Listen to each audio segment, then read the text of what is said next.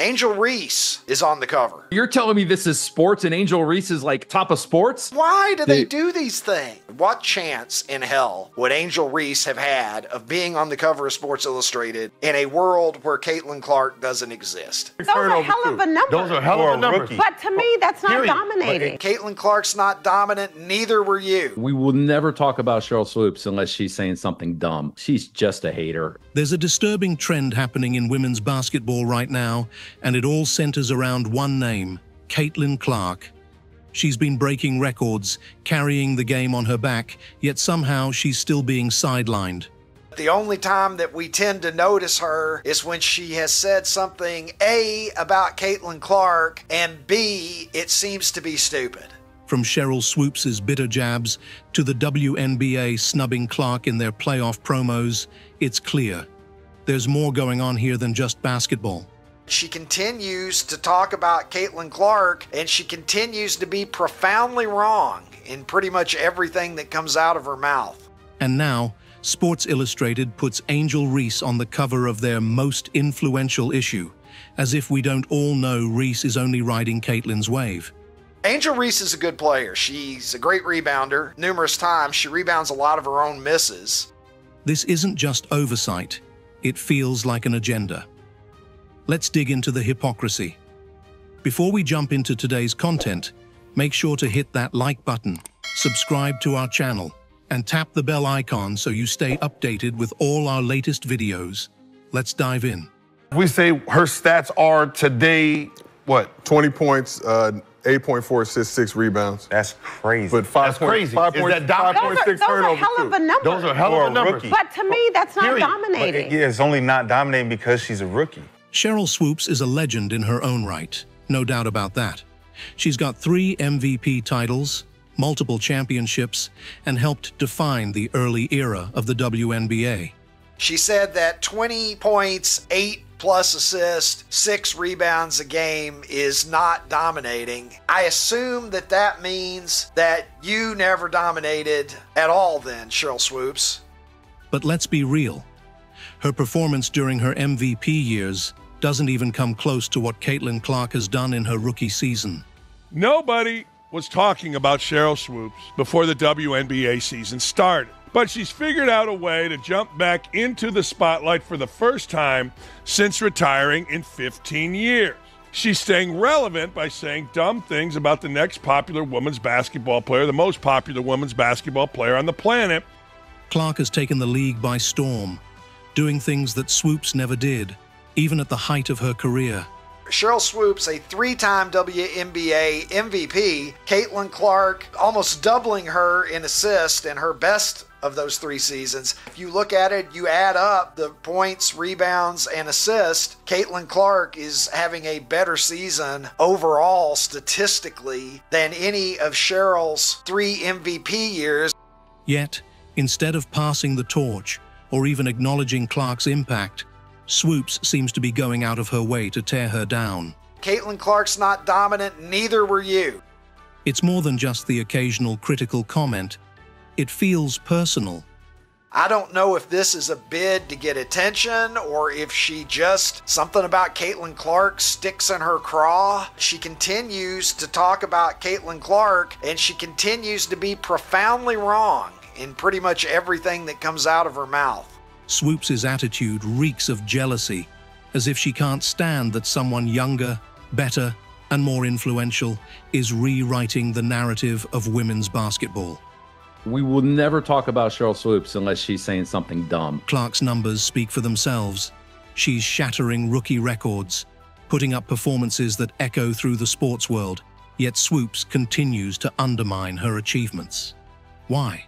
You know, you never really want people to take your spotlight.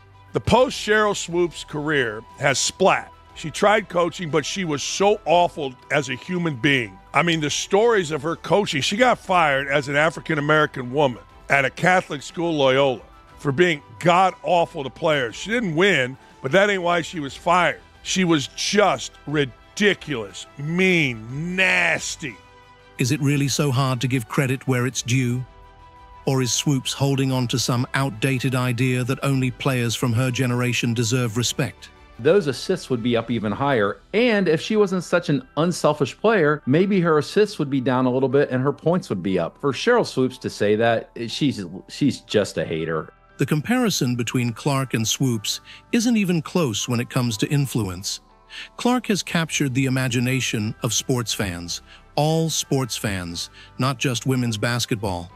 Her court vision, her three-point range, her ability to take over games in a way that even some of the NBA greats would envy. It's what makes her the face of the future. If you ask Sheryl Swoopes if she was a dominant player, she would say that yes, she was a dominant player. If she's going to make any kind of argument that Caitlin Clark is not on her level, she's not going to be able to make that argument with numbers. Meanwhile, Swoopes's peak influence never extended beyond the confines of the women's game. That's the harsh truth. But instead of embracing Clark as the game changer she is, Swoopes has chosen to downplay her achievements. That's what a lot of these women are doing is they feel like what we have done for this game, this young player has come into our game and she's getting way more respect and all that stuff than we are. It's clear that this goes beyond performance. This is about someone unwilling to accept that their time in the spotlight has passed. It's sad to see someone as iconic as Swoopes take this route, but it also reveals a deeper issue in the WNBA, a resistance to change, to letting new stars shine. I think she is the Stephen Curry of women's college basketball. I think she has changed the dynamics of the way the game is played. I think the way she plays, the pizzazz, is like she's probably the most prolific scorer the game of basketball has ever seen. Now, the WNBA itself seems to be perpetuating this jealousy and resistance. Take the recent playoffs promo as a prime example. The league put together a flashy trailer to showcase their stars, and who did they leave out? Caitlin Clark. This is a tweet from the WNBA's official X account. What I the mean, it- fuck are they do? Why do they They- do these things? Because if they would have put Caitlin Clark's picture on there, we wouldn't be talking about this. The very player who has been single-handedly driving attention to women's basketball like no one else in years. It's mind-boggling, almost comical. Caitlin Clark has been the best thing, the most dominant thing to happen to the WNBA ever. Remember, there's been good players come out of college, but nobody really cared. We'd seen it. Nobody really, really cared. They filled the promo with established stars, sure, players like A'ja Wilson and Breanna Stewart, who are undoubtedly great in their own right. But how do you omit the biggest rising star, the one who's been a cultural phenomenon since day one? There is no race. And guess what? Those aren't fans. The people that are doing that, if they're doing that, they're just idiots. And if you're going to be popular, if you're going to be in the public eye, you're going to have a lot of idiots. The absence of Clark in that promo doesn't feel like a simple oversight. It feels intentional, almost like the WNBA is trying to downplay her influence or somehow keep the spotlight on its established stars. But here's the truth they seem to be missing. The reason Caitlin Clark is so captivating isn't just her insane stats or her ability to drop 30-foot bombs like they're free throws. It's the energy, the swagger, and the way she brings a new generation of fans to the game. It's the electric atmosphere she creates every time she steps on the court. Her fans are little girls wearing 22. Her fans are moms and dads taking little girls and little boys to see something they've never seen. People tune in to see what Caitlin Clark is going to do next, and the WNBA knows it. But for some reason, they're choosing not to capitalize on it. You're telling me this is sports and Angel Reese is like top of sports? Like she's the face of influential sports? I mean, that literally renders that issue in that publication stupid and useless. Sorry. It's as if the league is clinging to its past stars, those who have been the faces of the WNBA for years, instead of embracing the fact that a new era is upon us. White girl is successful. White girl more popular. White girl must be bad. Bad white girl. We see it in politics with bad orange man. And of course, your fans are racist. You racist. Caitlin Clark is more than a player. She's a movement. Her games are must-watch TV, not just for die-hard women's basketball fans, but for casual viewers, sports enthusiasts, and even people who've never cared about the WNBA before. There isn't one single interesting woman playing in the WNBA to me. A mid range jump shooting A'ja Wilson and how great she is. She's not great. She's okay. I mean, she probably could start on a few boys' teams out here in the country, but none here in Indiana City. Uh, but Caitlin Clark's interesting. And yet, the league's decision makers seem blind to this fact. They're stuck in this mindset where only the veteran stars should get the attention, as if acknowledging Clark's impact would somehow undermine what they've built. But that's where they're wrong. We understand that the world that we live in can easily be defined by white racist, white bad. You're rooting for a white guy, bad. You're wearing a Make America Great Again hat. Think about that. Make American Great again. Oh, you don't understand. That has racial connotations. No, it doesn't. When it's not going well for you, claim racism. When it's going well for you, claim victim slash racism. We get it. We understand. And frankly, I just laugh at it. Clark isn't here to steal the spotlight. She's here to expand it. The more people watch her, the more people get interested in the league as a whole. And yet, by sidelining her in major promotions, the WNBA is shooting itself in the foot. It's almost like they're afraid of her rapid rise, worried that her influence could overshadow the players who have been carrying the league for years. But here's the thing. They should be celebrating her, not excluding her. Caitlin Clark is the only player in the history of the WNBA to achieve those numbers or better. She dominates. She dominates the ball, dominates the other team's thought, dominates her own team's thought, dominates the crowd, dominates the entire area of the arena. The WNBA needs new stars to keep growing, and Clark is the perfect face for that growth. She brings eyes to the game that wouldn't have been there otherwise.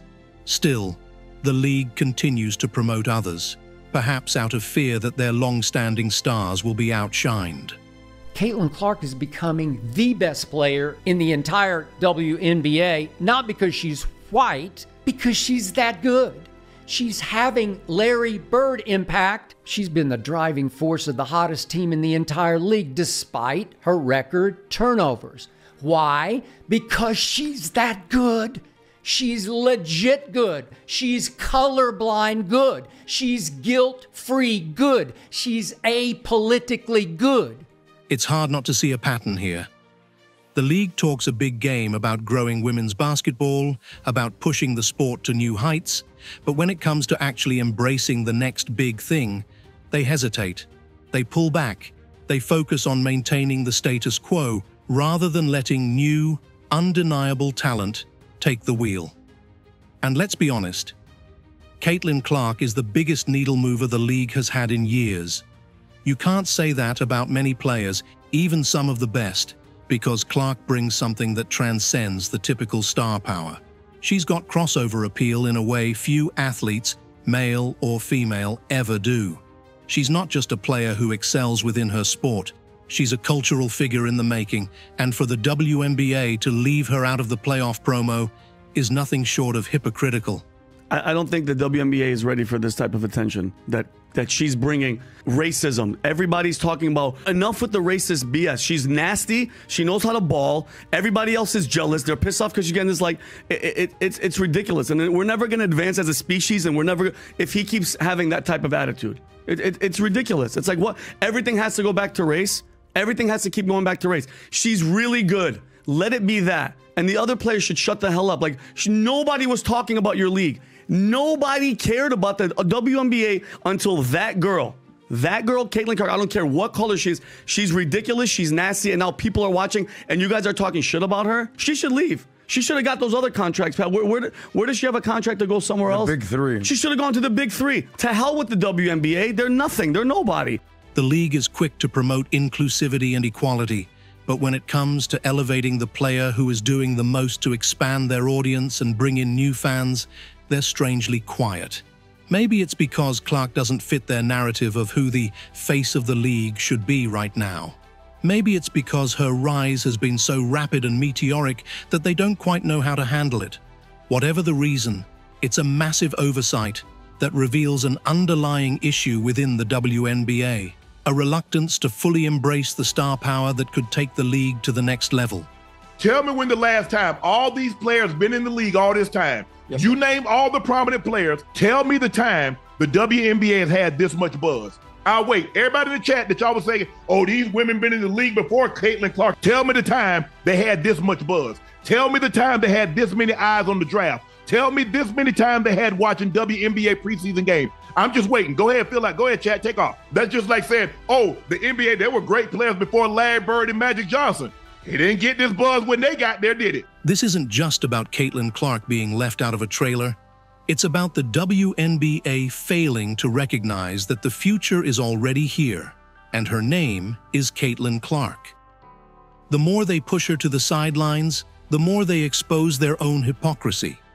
They say they want to grow the game, but when they have the perfect opportunity to do so, they're too stuck in their ways to act on it. The game that the Las Vegas Aces played against uh uh, with Caitlin Clark, right? The tickets were triple. And then, as if the WNBA's exclusion of Caitlin Clark wasn't baffling enough, Sports Illustrated doubled down on this strange trend of ignoring the obvious. Sports Illustrated with their 50 most influential in sports, and they've got on the cover, of course, the woman who came into the WNBA and completely changed the game. Of course, I'm speaking of Angel Reese is on the cover.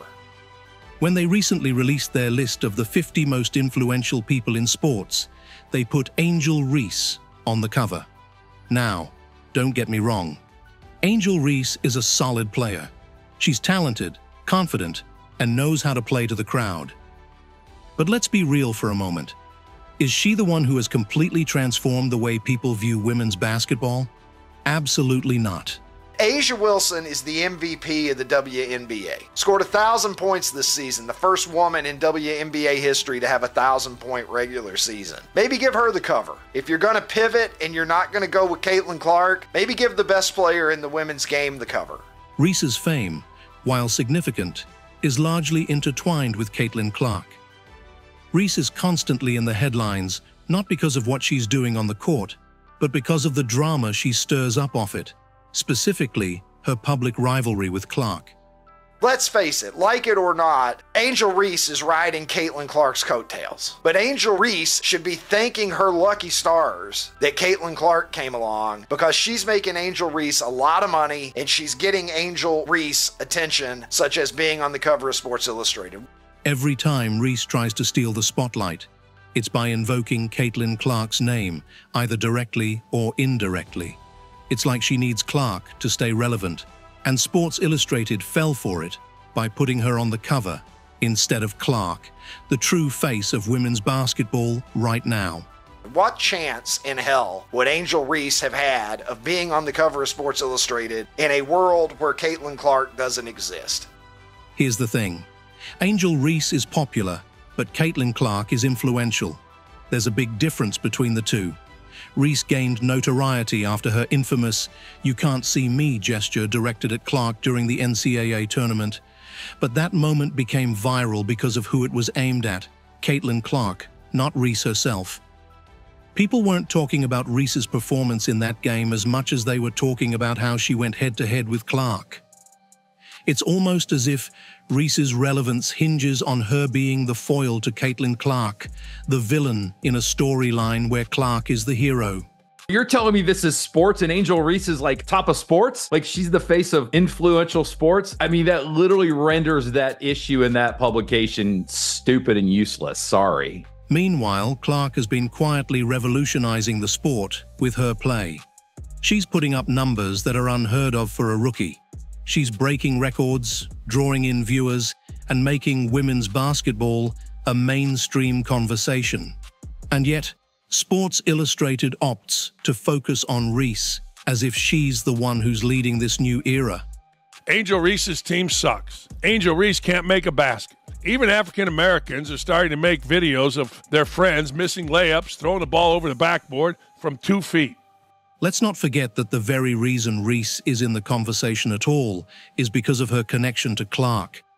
Without that rivalry, Reese is just another good player in the league. With Clark, she becomes part of a narrative that is much bigger than herself.